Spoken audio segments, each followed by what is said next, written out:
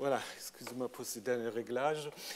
Euh, je suis heureux de vous retrouver pour le cours de cette année, qui est un cours très vaste, hein, parce que la naissance de la Bible, c'est tout un, programme. Euh, nous allons nous euh, focaliser ou nous restreindre à ce qu'on appelle la Bible hébraïque ou l'Ancien Testament. je vous dirai dans un instant que ce n'est pas exactement la même chose bien qu'on le dise souvent, c'est un peu différent. Donc, euh, ce que je voudrais faire pendant cette année, vous avez le programme, c'est un peu de vous présenter les hypothèses en cours et après de voir ce qu'on peut dire en remontant un peu dans le temps sur les différentes parties de la Bible. Euh, la Bible qui, en effet, n'est pas tombée du ciel, elle a été écrite, réécrite. Je vous ai mis ici un exemple, juste pour que vous puissiez voir qu'on a même des preuves matérielles que la Bible a été réécrite, rédigée. Donc là, vous avez un, fragment de Qumran, donc du rouleau d'Ésaïe, où vous voyez que, là, si vous regardez, je ne vais pas vous faire maintenant l'analyse de, ce document, c'est le chapitre 4 du, 40 pardon, du livre d'Ésaïe, et un scribe a rajouté une partie d'un verset parce qu'il trouvait qu'il manquait ou qu'il fallait, préciser des choses ici. Et puis là, les quatre points, en fait, c'est pour symboliser le nom divin, le tétragramme, les quatre lettres. Mais on va voir ça un peu au fur et à mesure du cours. Donc, euh, heureusement, parfois, euh, bien que les biblistes doivent recourir à de nombreuses hypothèses, on a parfois quand même aussi un peu des données euh, matérielles qui euh, nous permettent euh, d'avancer. Mais j'aimerais commencer avec des choses très très simples aujourd'hui. Après, ça va se compliquer au fur et à mesure. donc, Ancien Testament et Bible hébraïque. Est-ce que c'est la même chose? Souvent on le dit, mais ce n'est pas tout à fait vrai. Évidemment, première chose qu'on peut dire, le terme d'Ancien Testament, c'est un terme chrétien, évidemment. Hein.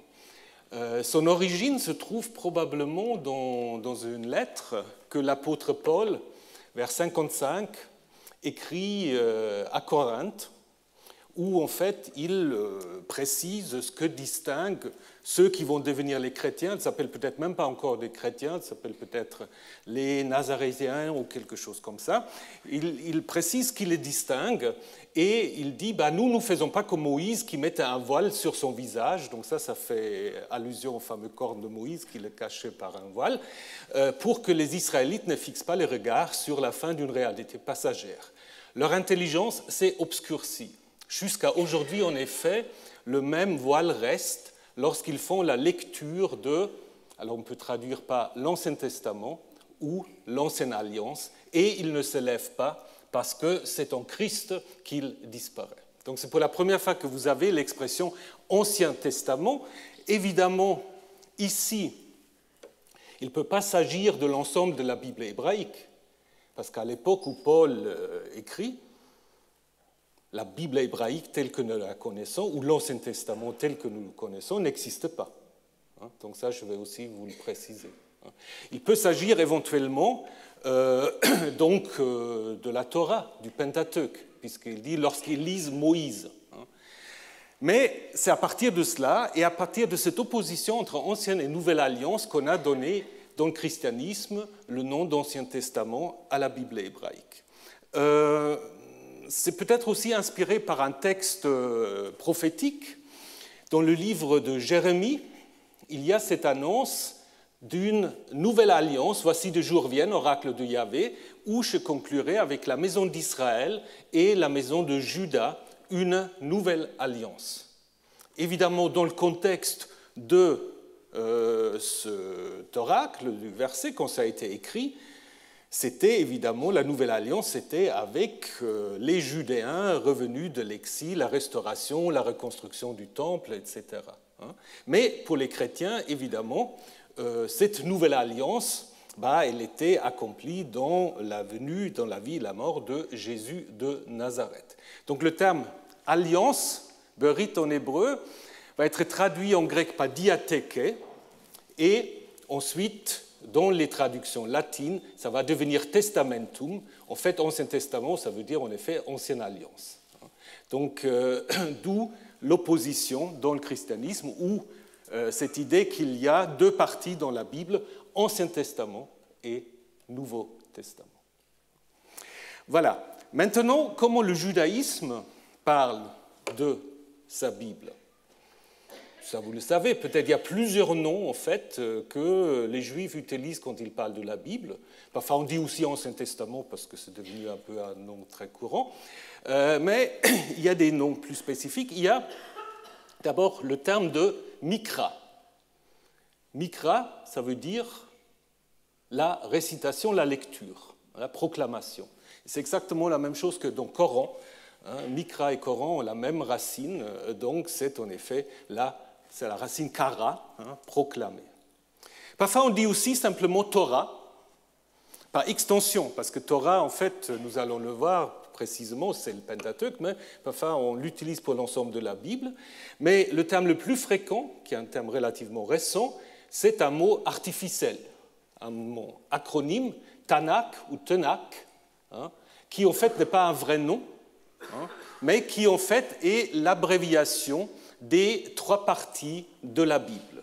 La Torah, qu'on traduit souvent par la loi, ce qui est une très mauvaise traduction, euh, parce que la racine qui est euh, dedans, c'est une racine qui veut dire instruire, éduquer, donc c'est l'instruction, ce n'est pas du tout la loi, c'est l'instruction, qui devient dans le grec le Pentateuque, Nevi'im, les prophètes, et Ketuvim, les écrits. Alors il faut d'emblée, je vais vous le préciser dans un instant, il faut d'emblée évidemment préciser que pour la Bible juive, ou pour le judaïsme, pour la lecture juive de la Bible, ces trois parties n'ont pas du tout la même importance. Hein. Dans le christianisme, on lit la Bible un peu euh, comme ça, du début jusqu'à la fin. Pour le judaïsme, c'est un peu différent. Le centre, c'est vraiment la Torah. Hein. C'est le Pentateuque. C'est la Torah, le Pentateuque, qui parfois aussi est appelé Humash, 5, hein, à cause du Pentateuque justement, euh, c'est cet ensemble-là qui est lu du début jusqu'à la fin dans les synagogues, soit un an, trois ans, ça dépend des coutumes, alors que les Nevi'im et les Ketuvim ne sont pas lus entièrement. Les prophètes souvent euh, tel ou tel passage qui peut éclairer un autre passage de la Torah, et dans les rouleaux, euh, pardon, dans les ketuvim, il y a des rouleaux, je vais le préciser aussi, euh, qui vont être lus à l'occasion de certaines fêtes. Mais le centre est vraiment la Torah. Hein. Donc d'où aussi euh, cette abréviation Tanakh, parce qu'il n'y a pas vraiment un nom pour Bible, en fait, dans le judaïsme.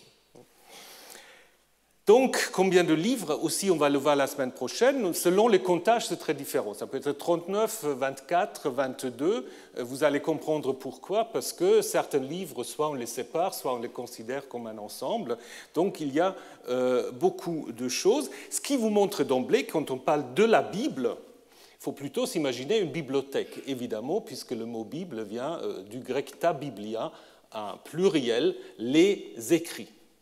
Évidemment, ces écrits ont vu le jour dans des contextes très différents, différents milieux de production, différentes dates de composition, et ce qui est aussi très très important, il n'y a aucun texte biblique, peut-être il y a une exception, on verra, mais il n'y a aucun texte biblique qui est écrit d'emblée par une seule personne et après plus personne n'a touché.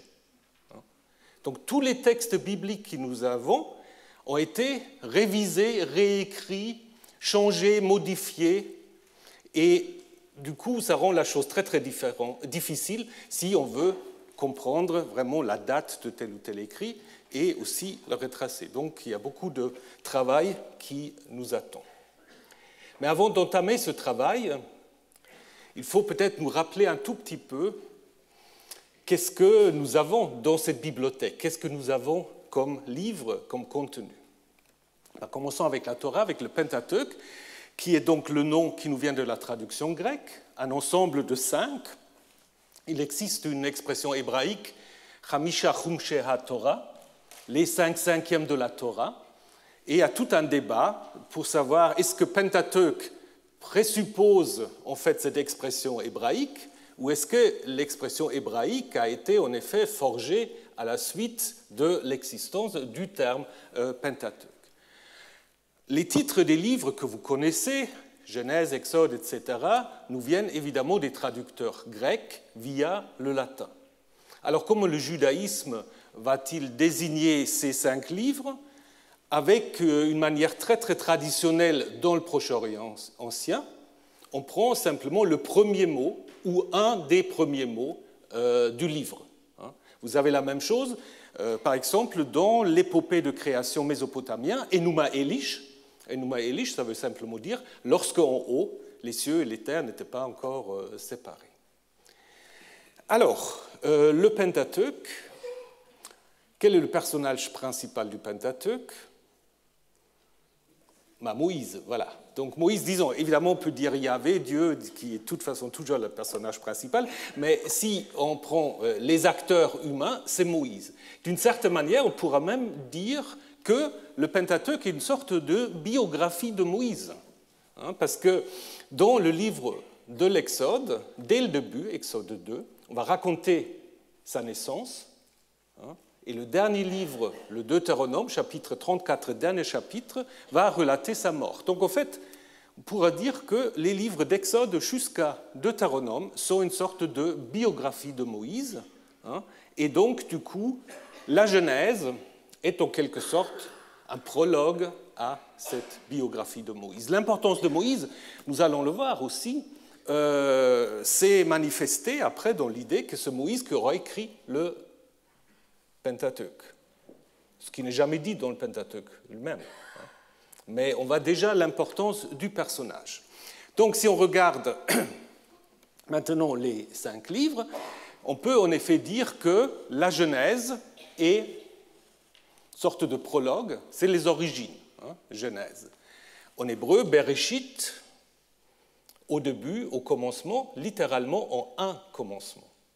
Hein, Ce n'est pas un commencement absolu, c'est un commencement. Au moins, c'est comme ça que les massorettes ont vocalisé le texte. Ce n'est pas au commencement, c'est un commencement possible.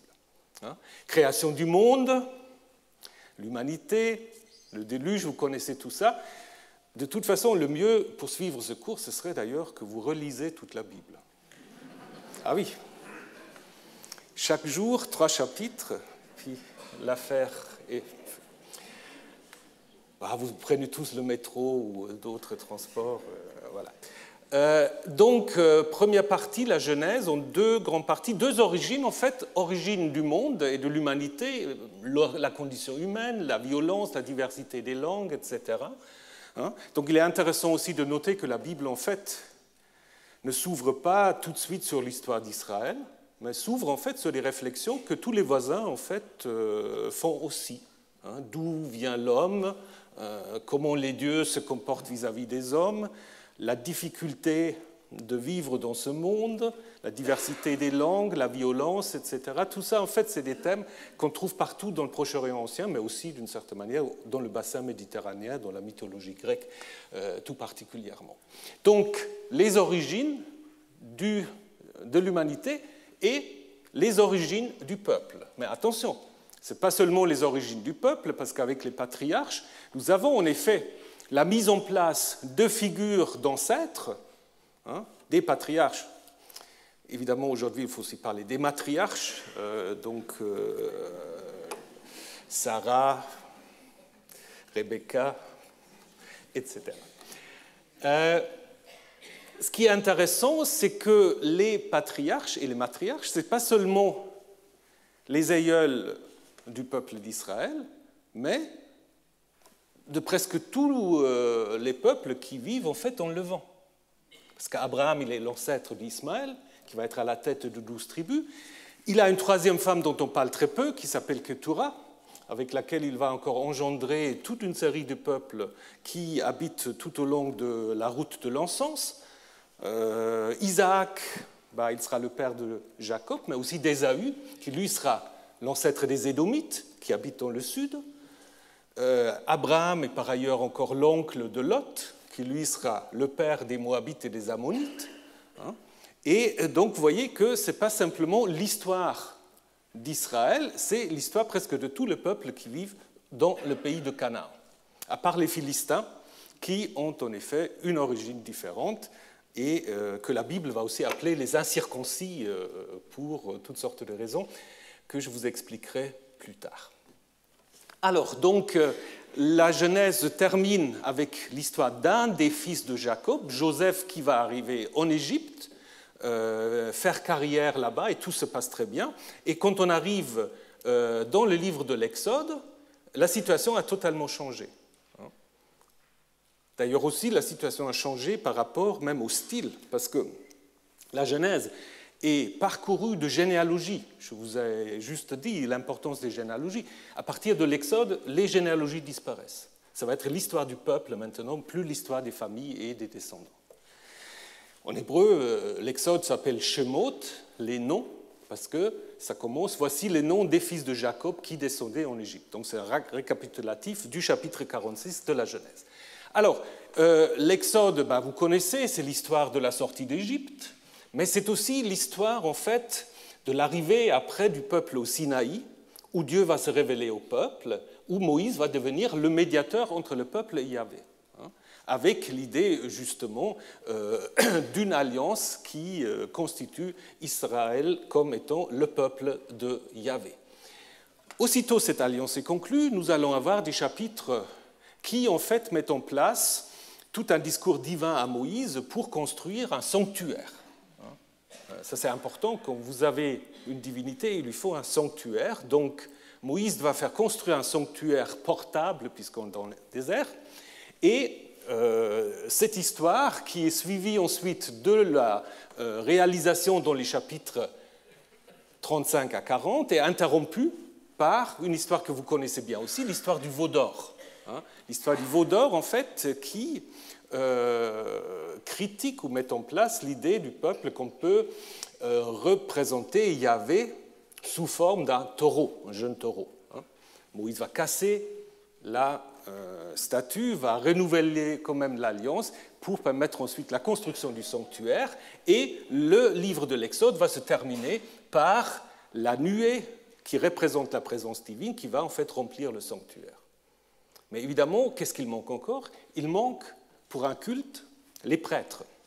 Et donc, du coup, le livre dit lévitique va en effet raconter l'installation des premiers prêtres, donc euh, le, frère de Moïse, Aaron et ses fils, après qu'on a précisé euh, toutes sortes de différents euh, sacrifices qui seront à offrir dans des circonstances différentes. Chapitre 8 à 10, l'installation des premiers prêtres et l'apparition de la gloire de Yahvé à l'ensemble du peuple. Mais aussitôt au chapitre 10, on raconte, et c'est presque la seule histoire qu'on raconte, deux fils d'Aaron qui font un sacrifice à leur propre initiative et qui sont frappés par la foudre divine. Donc euh, Yahvé les fait mourir.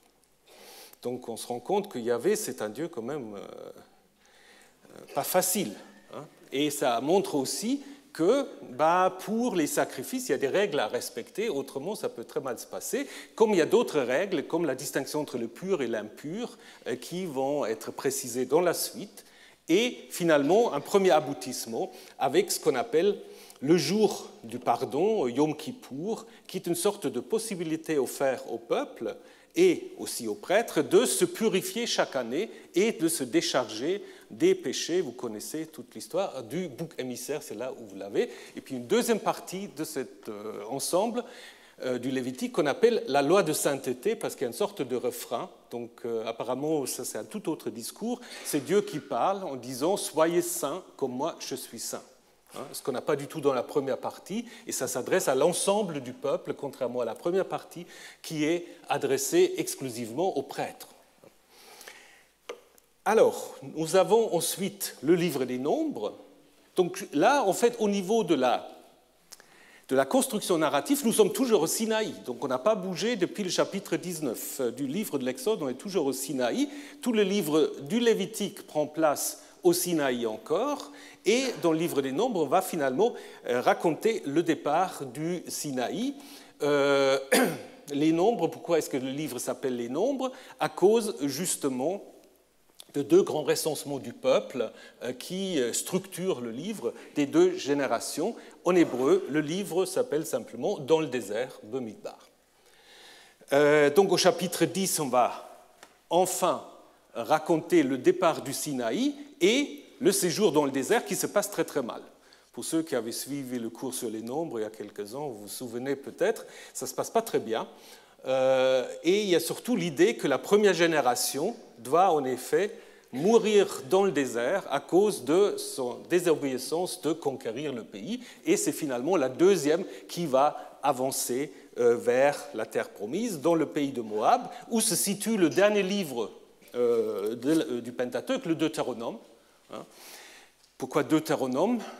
En grec, c'est la deuxième loi, parce que nous avons en effet à l'intérieur du Deutéronome une deuxième collection de lois une troisième d'une certaine manière, après l'Exode et le Lévitique. C'est construit en fait comme un grand discours de Moïse, une sorte de discours d'adieu de Moïse, qui récapitule un certain nombre d'événements et qui exhorte surtout au respect des lois divines avec des bénédictions, des malédictions. Au cas où on aura la mauvaise idée de ne pas obéir, et ce qui va évidemment arriver plus tard. Euh, le livre se termine par l'installation de Josué et par la mort de Moïse. Et ça, c'est très curieux, parce que Moïse, il meurt en dehors de la terre promise. Il peut contempler le pays, mais il n'entre pas dans le pays. Alors on peut dire oui, mais c'est raconté dans le livre suivant, dans le livre de Josué. Mais pour le judaïsme, il y a une césure très claire qui est faite à la fin du euh, Pentateuque, parce qu'il est dit plus jamais un prophète se levait comme Moïse, lui que Yahvé a connu face à face. Donc il y a des prophètes après, il n'y a personne qui peut égaler Moïse. Donc il y a vraiment l'idée d'une sorte de césure euh, qui est faite avec Moïse. Donc il faut qu'on revienne sur cette question. Maintenant, si on regarde comment le Pentateuque est structuré, vous pouvez voir en effet au centre se trouve le livre du Lévitique. Vous avez deux cadres euh, qui se correspondent. La Genèse et le Deutéronome se correspondent surtout par rapport à l'importance qu'ils donnent à la promesse du pays, hein, mais aussi par la mise en parallèle de Jacob et de Moïse. Parce qu'à la fin de la Genèse, Jacob va en effet prononcer des oracles, des bénédictions sur les douze fils, et Moïse va faire exactement la même chose juste avant sa mort. Et dans les deux cas, on va en effet mettre en parallèle l'ancêtre et le médiateur, Jacob et Moïse. L'Exode et les nombres se correspondent également déjà par l'itinéraire. Hein. donc je vous ai dit que le Sinaï, euh, on s'arrête dans l'Exode et on repart dans les livres des nombres. Et puis il y a un certain nombre de, des épisodes qui sont racontés dans les deux cas dans les deux livres. Hein, l'eau qui jaillit du rocher, la manne, l'écaille, l'installation de la Pâque, etc. Il y a des traditions parallèles dans les deux livres qui se correspondent. Et donc, ce qui fait qu'au centre, au centre, nous avons le Lévitique. Donc, le livre qu'on lit peut-être le mois, mais qui, en effet, est considéré comme étant vraiment le livre central. Et ce qui est le plus central à l'intérieur de tout ça, euh, c'est en effet euh, le Yom Kippour, le jour du grand pardon qui fait le centre, cette idée en fait que par un certain rituel, vous pouvez en fait chaque année recommencer si vous savez comment vous purifier le sanctuaire et la communauté. Voilà. Alors, maintenant, si on regarde la deuxième partie, euh, dans le canon hébraïque, c'est appelé Nevi'im, les prophètes. Les prophètes, euh, ce qui peut paraître un peu étonnant parce que nous avons en fait une toute première partie, ce n'est pas vraiment prophétique, parce qu'on raconte en fait la suite de l'histoire de la conquête jusqu'à la chute de Jérusalem ou l'exil. Ce qui a en effet donné à partir du Moyen Âge cette idée, donc ce n'est pas une distinction très ancienne, mais à partir du Moyen Âge, on va distinguer entre les prophètes antérieurs, hein, les Nevi'im Aharonim, pardon, Nevi'im Rishonim, les premiers euh, prophètes, et les prophètes postérieurs, les Nevi'im Aharonim. La première partie, en fait, ce sont des livres qui racontent la suite de l'histoire. Avec Josué, on reprend là où on s'est arrêté dans le Pentateuque avec la mort de Moïse, on raconte l'entrée dans le pays, la conquête, hein, et puis euh, la mort euh, de Josué, On arrive au livre du juge, qui est un livre en fait qui euh, relate toutes sortes d'aventures des chefs charismatiques, surtout du Nord, mais qui est présenté en fait par une introduction comme une sorte euh, d'épisode, disons, de période un peu intermédiaire entre la conquête et la royauté, avec l'idée que c'est un cycle d'apostasie, que chaque fois le peuple dans le pays va chercher d'autres dieux euh, et Yahvé va se mettre en colère. On voyait ensuite quand même des juges lorsque le peuple se repentit. Et tout à la fin, il y a une sorte de refrain. Il n'y avait pas de roi en Israël, chacun faisait ce qui lui plaisait. Donc l'idée, c'est évidemment de préparer l'histoire de la royauté que nous avons dans les livres de Samuel. Hein.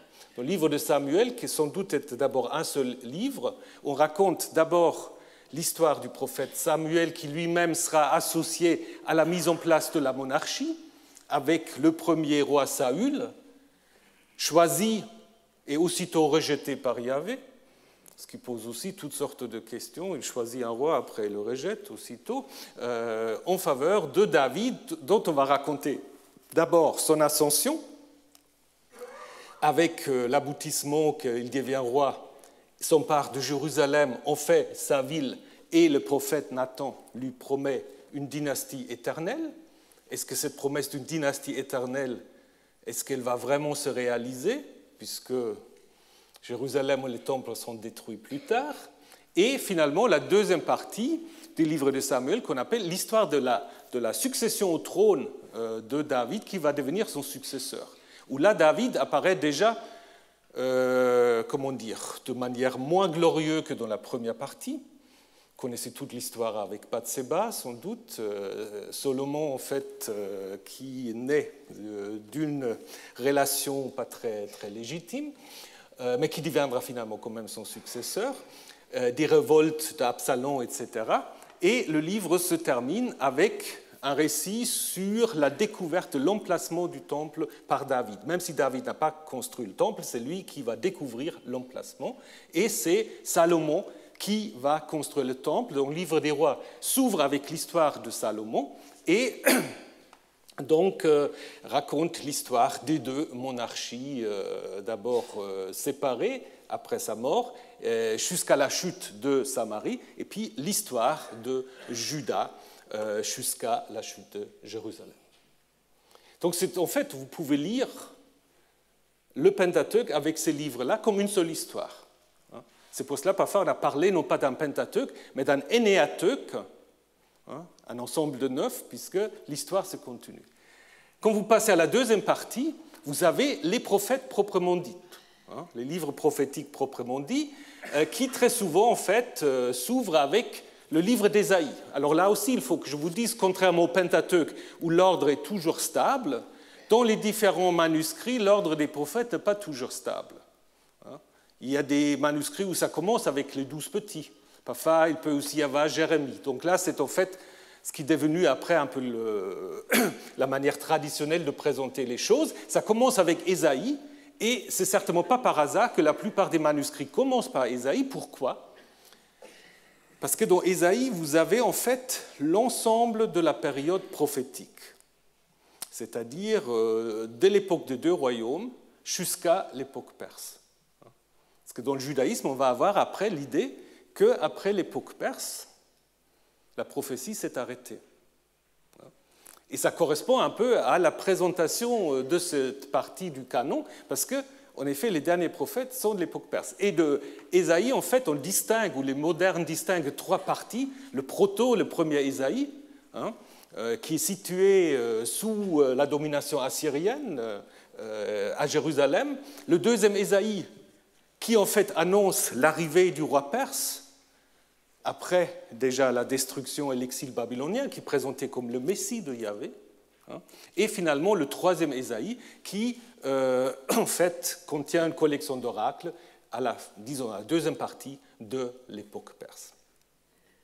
Jérémie et Ézéchiel, ces deux prophètes qui sont tous les deux situés aux alentours de la destruction de Jérusalem, Jérémie qui annonce la destruction, euh, dont on raconte, et ça c'est aussi une spécificité de Jérémie, dont on raconte euh, beaucoup d'histoires sur sa personne, une sorte de biographie. Hein.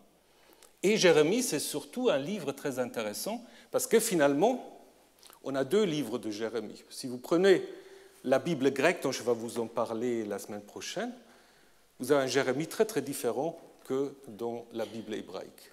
Les chapitres ne sont pas dans le même ordre, euh, le grec est beaucoup plus court que l'hébreu, et donc euh, peut-être en fait préserve un texte hébreu plus ancien. Donc Jérémie, après la destruction de Jérusalem par les Babyloniens, va rester dans le pays jusqu'à ce qu'il est amené de force par le peuple en Égypte. Contrairement à Ézéchiel, Ézéchiel qui va en effet être présenté comme étant parmi ceux qui, en 597 déjà, avaient été déportés à euh, Babylone. Les deux, en effet, Ézéchiel et Jérémie ont d'abord des oracles contre Israël, des oracles contre les nations, qui préparent en fait des oracles de restauration et la vision du nouveau temple dans Ézéchiel. Et ensuite, on a les douze petits, euh, les douze petits qui, à l'origine, étaient un seul rouleau. Si vous comptez tous les chapitres, ça fait 65 chapitres. C'est exactement la taille du livre d'Ésaïe, à un chapitre près.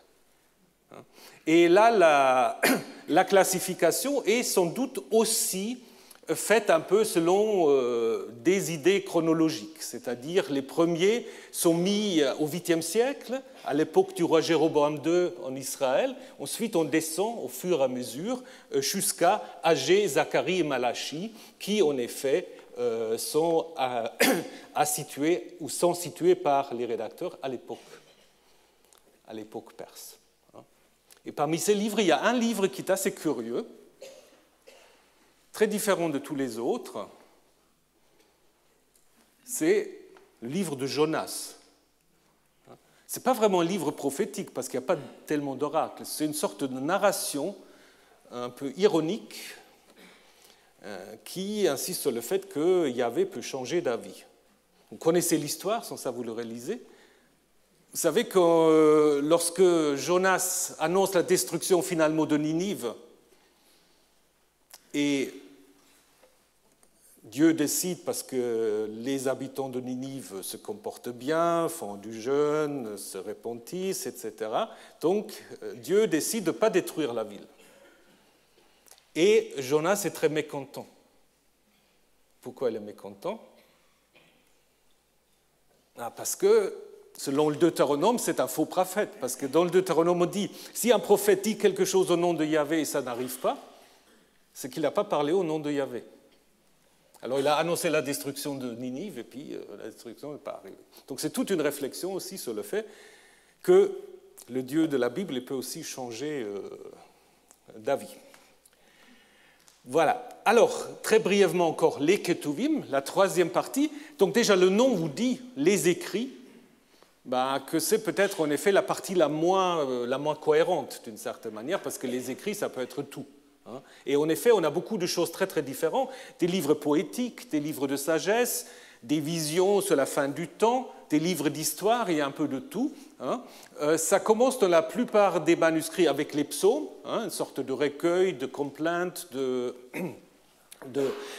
d'actions de grâce, euh, d'instructions, toutes sortes de louanges, toutes sortes de, genres littéraires, qui sont regroupés en cinq livres. Pourquoi cinq livres? Probablement pour faire en effet euh, une sorte de parallèle avec le Pentateuque. Hein. Et après, ce que je vous ai mis en bleu, ce sont des livres dits de sagesse. Hein. Job, Proverbe et Coëlette. Hein. La sagesse la plus traditionnelle se trouve dans le livre des Proverbes, où ça, c'est en effet l'idée que si tu fais le bien, bah, tu seras bien traité et tu seras dans le bonheur. Mais c'est précédé par le livre de Job qui montre, euh, avant même qu'on a ce discours-là, que ça ne marche pas. Donc Job, en effet, met en question cette idée euh, qu'il y a un lien direct entre le comportement de quelqu'un et le destin qui, euh, l'attend. Donc, le livre de Job, qui en fait aussi est composé de deux choses différentes, d'un cadre narratif et des discussions avec les amis, va en effet montrer qu'il n'y a pas forcément de cohérence entre la manière dont vous vous comportez et le destin qui vous attend. grande question, en effet, pour beaucoup de religions, les dieux sont imprévisibles, c'est aussi l'idée de Job et qui, en fait, est encore euh, radicalisée par Coëlette, hein, l'ecclésiaste, qui est peut-être le seul philosophe de la Bible hébraïque et qui dit, de toute façon, l'homme ne peut comprendre ce qui se passe dans les cieux. Hein. L'homme est sur la terre et puis il faut qu'il se débrouille sur la terre. Donc euh, c'est un livre, on va le voir, qui avait beaucoup de problèmes aussi à entrer dans le canon. Hein. Euh, c'était très discuté, est-ce qu'il faut vraiment le compter parmi les écrits euh, inspirés? Voilà, alors après on a, et Coëlette en fait partie, cinq petits rouleaux, les Megillot, qui ont été réunis à partir du Moyen Âge de nouveau, parce qu'ils ont lu à l'occasion d'un certain nombre de fêtes dans le judaïsme. Ces livres sont encadrés, ou ces Megillot pardon, sont encadrés par deux femmes, Ruth au début, Esther à la fin. Hein, Ruth qui raconte comment une femme moabite, par la ruse quand même un peu, devient l'aïeul du roi David. Et Esther aussi, par la ruse, va sauver euh, son peuple d'un pogrom euh, sous les Perses. Euh, Shavuot, la fête des semaines, qui est la fête où on lit, Ruth, évidemment à cause des moissons, etc. Et Esther pour Purim, qui est à l'origine une commémoration de cette libération, qui est devenue une sorte de carnaval. ensuite, le Cantique des Cantiques, c'est aussi un livre très étonnant. C'est la poésie érotique, euh, où Dieu n'est jamais mentionné, et qui est lu maintenant donc à Pâques, parce qu'on a fait très vite dans le judaïsme et le christianisme une sorte de lecture allégorique, à savoir que toutes ces histoires d'amour, ça concerne en fait Dieu et son peuple. Donc du coup, ça, euh, c'est acceptable.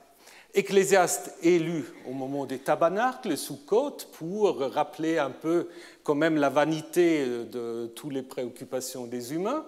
Les lamentations, évidemment, comme dit déjà le nom, euh, au moment où on commémore la destruction du temple. Et finalement, euh, Daniel, le seul livre un peu apocalyptique dans, la Bible, avec ses visions sur la fin des temps, hein, et Estras Néhémie, qui raconte la restauration euh, au moment de l'époque perse, avec Esdras qui va amener la, la, loi à Jérusalem, et tout à la fin, le livre des chroniques. Et ça, c'est aussi c'est très curieux. Pourquoi les chroniques sont à la fin? Parce que chronologiquement, les chroniques qui racontent l'histoire de la royauté bah, ce sera beaucoup mieux qu'ils étaient avant Estras Néhémie, parce que Estras ils prennent la suite. Ils racontent justement la restauration à l'époque perse. Alors pourquoi est-ce qu'on a mis les chroniques à la fin bah, Il suffit simplement de regarder le dernier verset. Dernier verset des chroniques, c'est le roi perse qui dit, ainsi parle Cyrus, le roi perse, il y avait le Dieu du ciel même nom qu'on donne aussi à Ahura Mazda, qui avait le Dieu du ciel, m'a donné tout le royaume de la terre, m'a chargé de lui bâtir une maison à Jérusalem.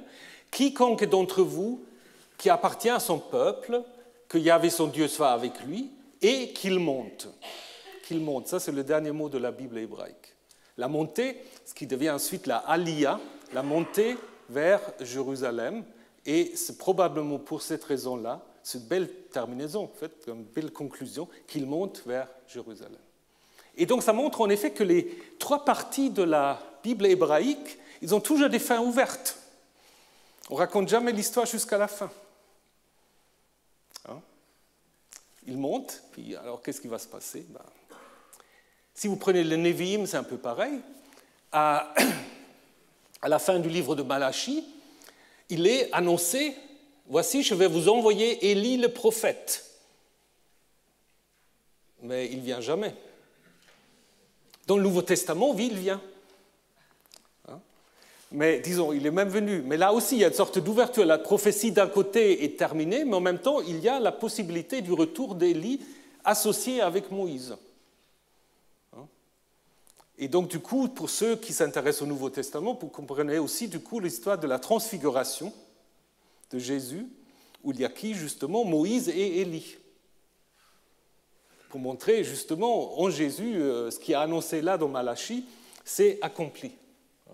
Mais là, évidemment, c'est une fin ouverte. Et puis, on a déjà parlé euh, du fait que le Pentateuque aussi a une fin ouverte, parce qu'il se termine avec la mort de Moïse, qui voit le pays et qui n'entre pas.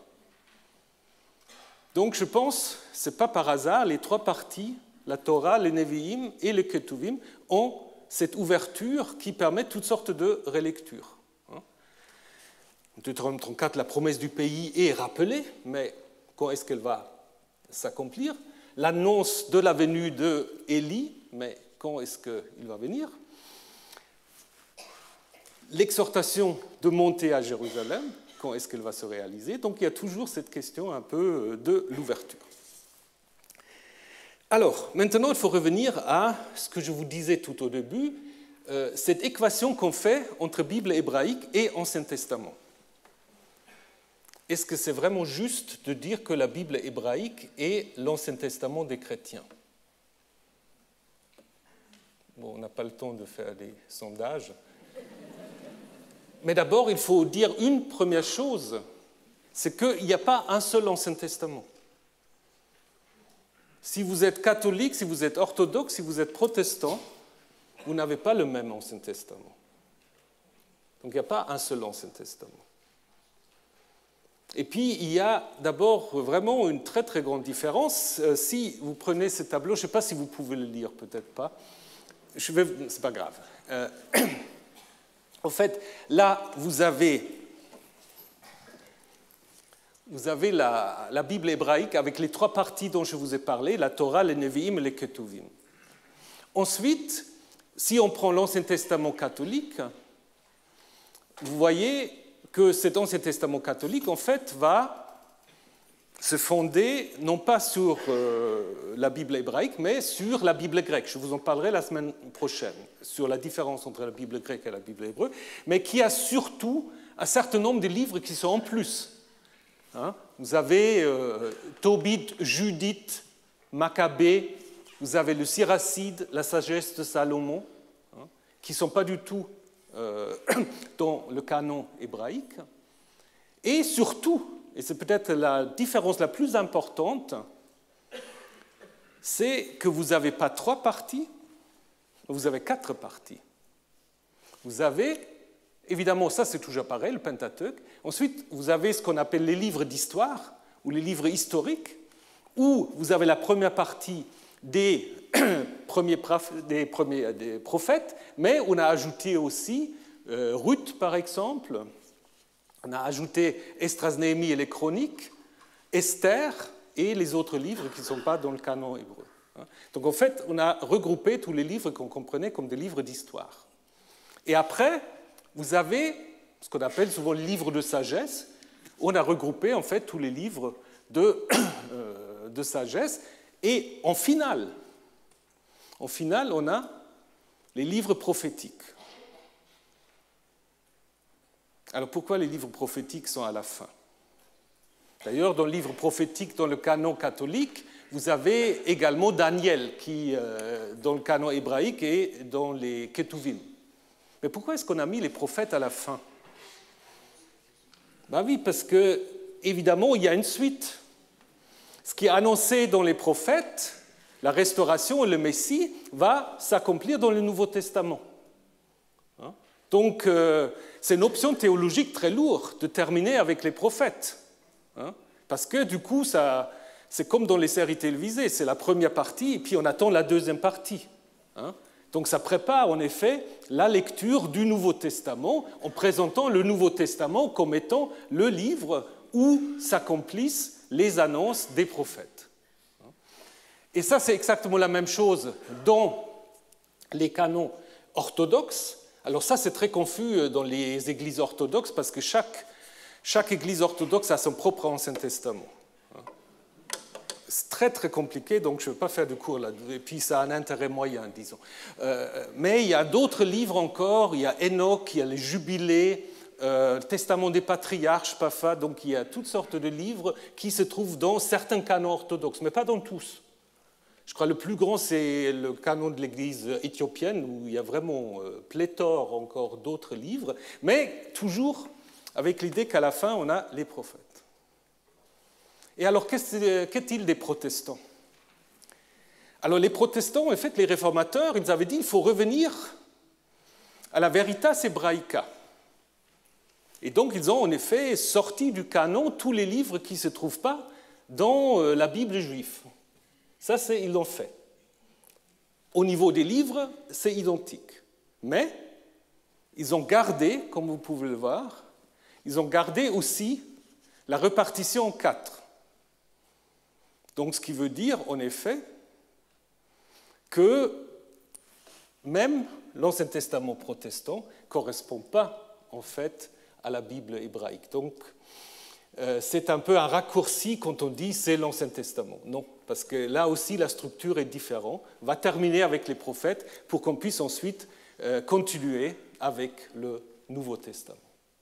Donc il n'y a aucun des Anciens Testaments. Évidemment, on peut dire l'Ancien Testament protestant est ce qui se rapproche le plus euh, du canon juif ou de la Bible juive, mais l'ordre, l'organisation est différent. Et l'organisation, évidemment, est très importante. Ce n'est pas, euh, pas anodin.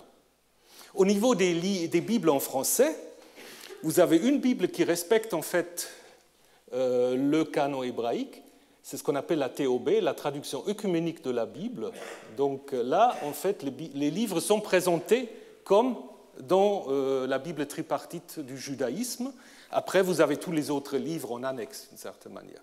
Et évidemment, vous avez les Bibles juives, les Bibles de rabbinat, etc. Voilà. Donc, euh, après cette, euh, ce rappel, comment peut-on dater maintenant le texte biblique? On a dit, c'est voilà, il y, a, il y, a, tellement de choses, mais comment, comment on va s'y prendre pour les dater? Qu'est-ce qu'on a comme possibilité?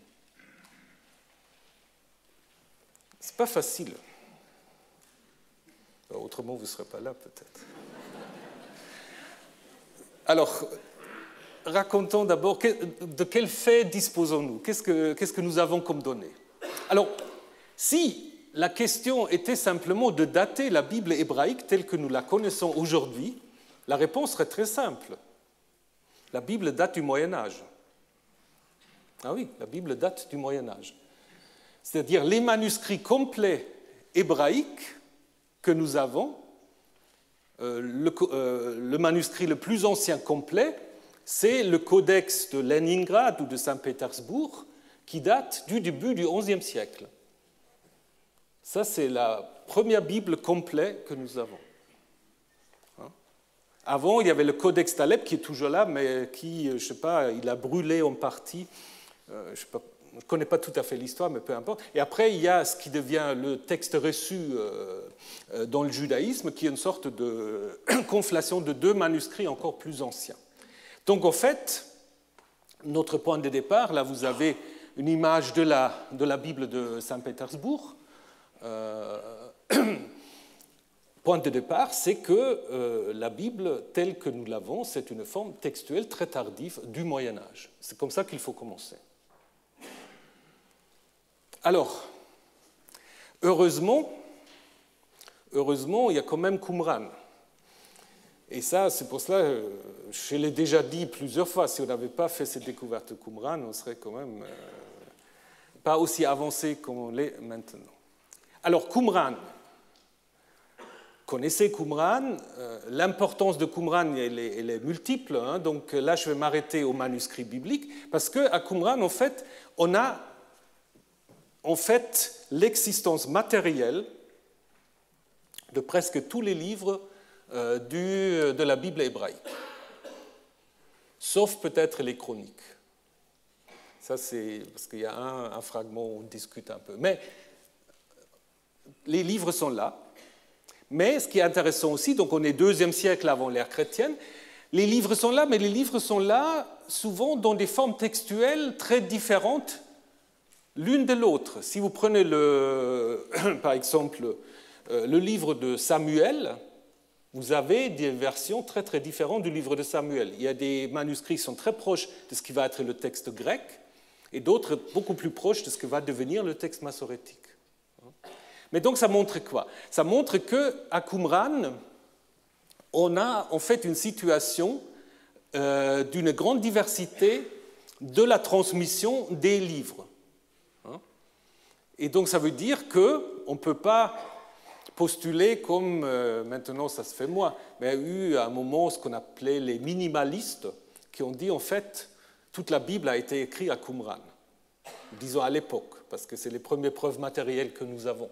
Mais si vous regardez en fait la diversité des manuscrits du même livre, vous vous rendez compte qu'il va y avoir avant déjà toute une époque en fait de transmission de ce texte. Donc on peut remonter au-delà de Qumran. Évidemment, il faut dire aussi euh, que le plus complet que nous avons, c'est le grand rouleau d'Ésaïe, mais il n'y a aucun livre qui est complet. Hein. Donc euh, on ne peut pas non plus dire que euh, tous les livres que nous avons dans la Bible, ils étaient finalisés à l'époque de Qumran. Hein. Il peut y avoir encore des ajouts dans certains livres après le deuxième siècle avant l'ère chrétienne. Alors, comment peut-on remonter maintenant? Ben, Ça, c'est grâce en fait à la Septante. Je vous en parlerai encore plus en détail la semaine prochaine. Euh, la traduction grecque du Pentateuque, hein, euh, qui, selon la légende, a été faite euh, sous Ptolémée, Ptolémée II, au IIIe siècle de l'ère chrétienne. Donc ça se base sur la lettre d'Aristée qui date vers 150-100 avant l'ère chrétienne. Et en effet, il y a un certain nombre d'observations qui permettent en effet euh, de dire que euh, vers la fin du IIIe siècle avant l'ère chrétienne, on connaissait déjà une traduction grecque, au moins du Pentateuque. Euh, parce qu'il y a ce Démotrius qui cite apparemment des textes bibliques en grec très proches de, la Septante. Euh, on trouve l'idée aussi que le Pentateuque aurait été traduit en grec sous Ptolémée euh, chez un dénommé Panéas. Et cela, en fait, va bien ensemble. De l'autre côté, nous avons malheureusement ce mot des fragments, très très intéressant, euh, de Hécaté d'Abder. Est-ce que vous connaissez Hécaté d'Abder? Euh, Peut-être pas. Mais très intéressant parce que ces fragments, en fait, nous montrent une histoire. Il connaît. Ce n'est pas un juif. Hein. donc il a des informateurs qui lui racontaient des, des histoires sur, euh, sur les juifs. Il connaît, donc il raconte en fait l'histoire de Moïse. Il connaît l'histoire de la sortie d'Égypte. Mais il dit en fait, dans son histoire de l'Égypte, ça c'est les Égyptiaca, il dit en effet que Moïse a sorti le peuple, mais il a aussi installé le peuple à Jérusalem. Donc il connaît, euh, c'est pas trop, mais c'est pas pas la Bible en fait. Hein. et puis il dit aussi à la fin euh, du, disons, du fragment que nous avons, c'est pour cela que les Juifs n'ont jamais eu de roi et que la direction du peuple est toujours confiée à celui des prêtres qui est jugé supérieur. Donc ça c'est intéressant aussi parce qu'évidemment, euh, ça ne correspond pas non plus à ce que nous pouvons lire dans, euh, les, euh, dans la deuxième partie de la Bible. Donc, ça veut dire que Hécaté ne semble pas encore connaître la Bible en grec. Hein, parce qu'évidemment, lui, il ne sait pas l'hébreu, donc il se base sur des choses en grec. Donc, du coup, ça nous amène en effet entre 270 à 230 environ pour la traduction du Pentateuque en grec. Et si, évidemment, on traduit le Pentateuque en grec, ça veut dire qu'il a déjà une certaine autorité. On ne peut pas dire que la version hébraïque aurait été écrite seulement au IIIe siècle. Donc là, on est relativement euh, assuré. Donc, euh, on peut dire en effet, à l'époque hellénistique, le Pentateuque au moins a déjà atteint une autorité qui fait qu'il est important de le traduire. Maintenant, est-ce que c'est le Pentateuque tel que nous le connaissons aujourd'hui exactement? Ça, ça reste encore à, à discuter. Hein. Mais jusqu'à là, on peut, en effet, on est sur un terrain relativement sûr. Après, ça se complique. Après, ça se complique. Malheureusement, on n'a pas le temps d'en parler maintenant, mais juste, ça commence en fait déjà avec les rabbins. Je vais vous présenter ça, mais, juste pour vous donner envie euh, pour la suite. Vous savez que pour le judaïsme et le christianisme, c'est Moïse qui est l'auteur de la Torah. Alors que, évidemment, euh, dans la Bible, c'est jamais dit. D'ailleurs, c'est très intéressant pourquoi Moïse devient l'auteur du Pentateuque. Moi, je pense à avoir avec Homère du côté des Grecs. Mais voilà. Parce que les Grecs ont construit Homère comme leur figure, en fait. Homère, c'est le même problème que Moïse, d'une certaine manière. Vous ne savez pas s'il a existé. Il y a une grande différence entre les manuscrits homériques et l'époque où on situe Homère. On est tout à fait dans le même. Comment dire dans, la construction, fait, une sorte d'écrivain euh, de référence. Mais bon, en fait, le problème, si Moïse est l'auteur de la Torah, est-ce qu'il peut écrire sa propre mort? Parce que la Pentateuque se termine avec la mort de, Moïse. Et les rabbins ont discuté. Est-ce que Moïse peut être inspiré pour écrire sa propre mort? Alors on peut dire oui, mais la solution majoritaire qui donnait dans le Talmud, c'est de dire non. Les derniers versets de la Torah ont été ajoutés par Josué. Et après, ça continue. Est-ce que Josué a écrit son livre? Parce qu'il meurt aussi à la fin. Pareil, non, Samuel l'a complété. Après, Samuel meurt aussi, au milieu de son livre, c'est encore pire. Donc, il faut toujours trouver. Ce que je voulais vous montrer, c'est que les rabbins avaient déjà une sorte de sens de la diachronie. En fait, ce n'était pas leur problème principal, mais ils avaient déjà cette idée de ce qu'on appelle aujourd'hui un terminus aquo.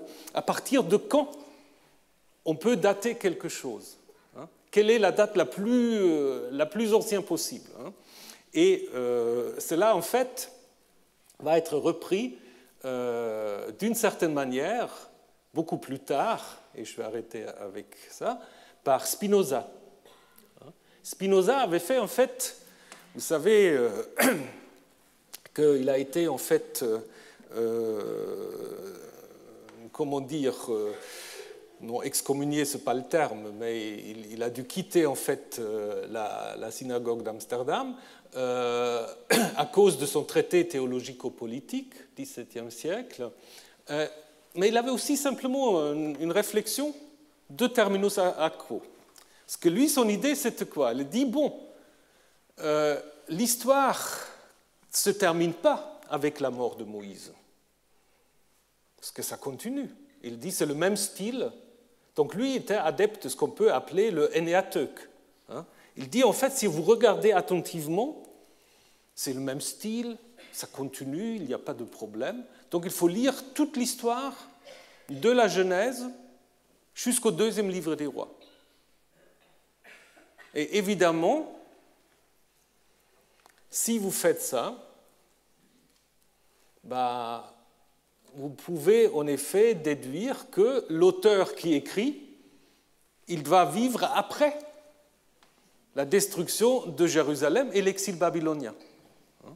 D'où l'idée, en fait, de Spinoza que euh, le Pentateuque et les livres historiques auraient été écrits à l'époque perse par Estras ou Estras et euh, ses collaborateurs. Et c'est ça, en fait, ce qui lui a valu euh, l'exclusion de la, synagogue. Aujourd'hui, je pense qu'on peut le dire sans trop de danger, mais à l'époque, c'était quelque chose qui était considéré comme euh, portant atteinte à la sacralité des Écritures. Voilà. Mais évidemment, ce que Spinoza n'avait pas encore fait, et nous allons le voir la semaine prochaine, c'est de se rendre compte au fait qu'à l'intérieur de ces livres dits historiques et Pentateuque, il y a des différences. C'est difficile en fait d'avoir un seul auteur. Donc euh, ça, ça va être en effet la deuxième ou la troisième étape. Euh, je vous en parlerai la semaine prochaine. Nous verrons aussi comment ce canon tripartite, qui n'existe pas encore, par exemple, à l'époque du Nouveau Testament, euh, Jésus ne connaissait pas la Bible. Il connaissait des Écritures, mais il ne connaissait pas la Bible telle que nous la connaissons. Comment ce canon, en fait, s'est forgé. Et évidemment, il faut aussi qu'on parle un peu de la grande diversité des témoins textuels ce qui pose un autre problème euh, par rapport à la doctrine de l'inspiration, parce que si la Bible est inspirée, c'est quel manuscrit qui est inspiré? Ben, Je vous réfléchir à cette question et je vous revois la semaine prochaine.